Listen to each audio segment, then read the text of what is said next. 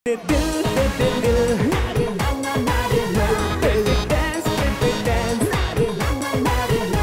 क्या कर रही हो मेरे ख्यालों में? जी बहकी बहकी बातें कर रही हो। कहीं बेजी वाली बीमारी तुम्हें भी तो नहीं हो गई? पता है मुझे।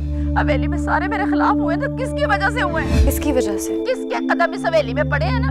तो पुत्र प्यो के सामने खड़ा हो गया। और भाई भाई के हिस्से पे नज़र रखे हुए। मैं ये सोच रहा था कि क्यों ना हम दोनों अब्बा जी और दादाजी को मादा करें। कि अपनी जमीनें बेच के हमें हमारा हिस्सा दे दें ताकि हमको बिज़नेस बिज़नेस स्टार्ट कर ले। तो वो लोग नहीं मानेंगे। तो हम मनाएँगे ना।